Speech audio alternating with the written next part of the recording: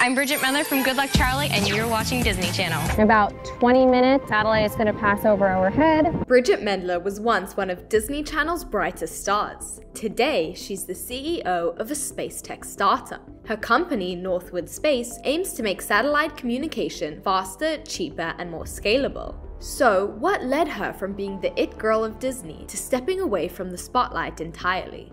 Bridgit stars in Disney classics like Wizards of Waverly Place, Good Luck Charlie, and Lemonade Mouth. And while she was touring, she enrolled at USC and studied anthropology. But she wasn't done learning and graduated from Harvard Law in 2024 after leading the Space Law Society. Bridgit and her husband, Griffin Cleverly, founded Northwood during the pandemic.